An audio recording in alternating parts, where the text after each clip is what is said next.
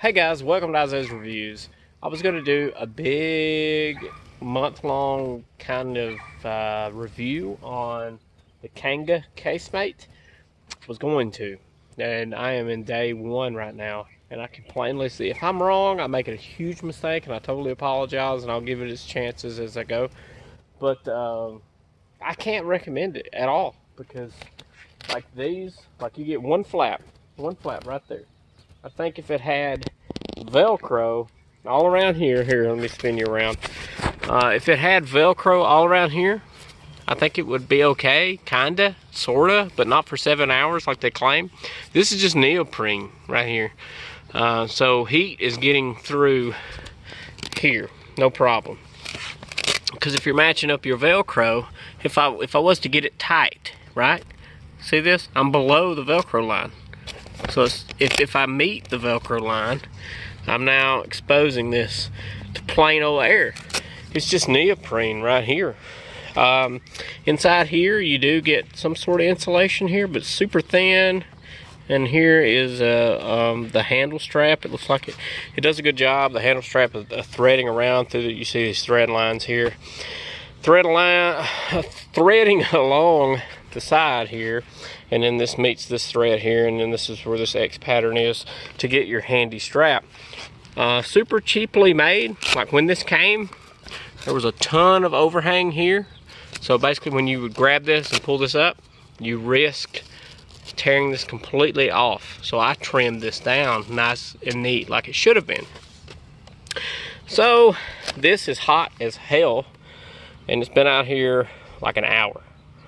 So went from I put this cooler in the freezer for like three hours.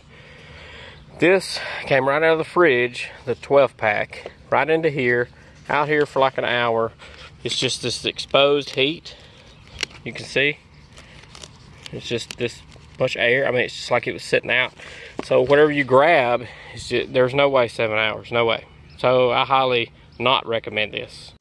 Alright, so I'm doing this voiceover now work because I've had a night to sleep on it. That was my first initial reaction from receiving it in the mail. That day I was a little irritated about it because I really wanted it to work and my mind was in a different state of mind and what I got was not what I thought I was going to get. So just be aware of what you're getting, right?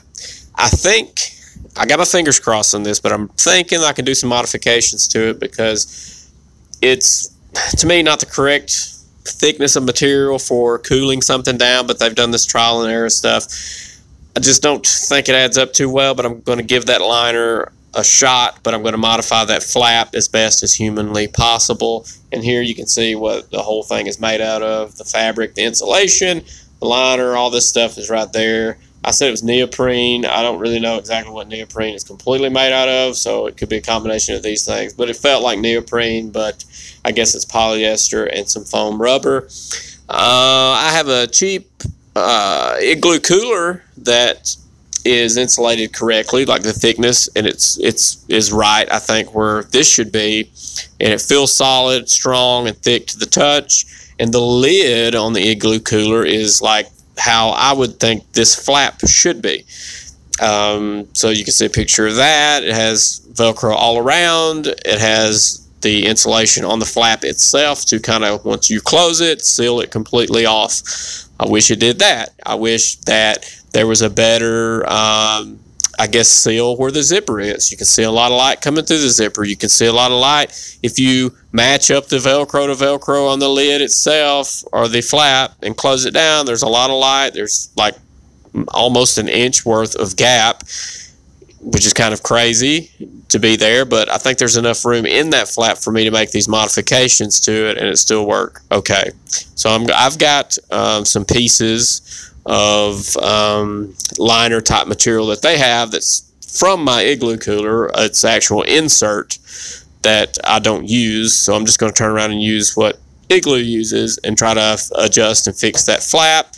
I plan on adding more Velcro to the left and right side of it. I'm going to try my best to work on this to get this to where I think it will work.